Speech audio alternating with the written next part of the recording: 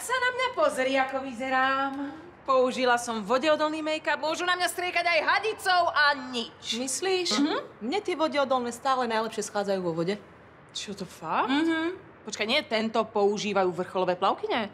Naozaj, kvôli tomuto dňu som si ho objednala. Na čo?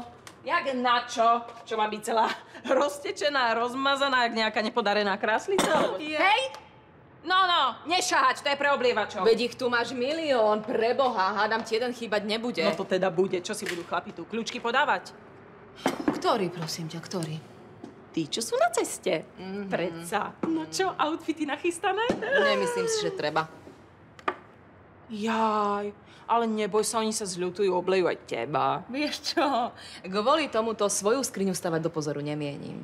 No v teplákoch nebudeš moja zlatá. Akože ak nemáš outfity, tak ja ti požičiam nejaké svoje. Ďakujem ti veľmi pekne, ale ja tu nebudem sedieť ako taká sliepka a čakať, ktorý kohút vojde omylom do kurína. Nie, nie. Prosím. Mám rodinný program, takže sa lúčim. Ahoj. Ahojte, ak chcete odoberať náš kanál, kliknite sem. A ak chcete vidieť ďalšie video, ktoré sa vám páčilo, kliknite sem.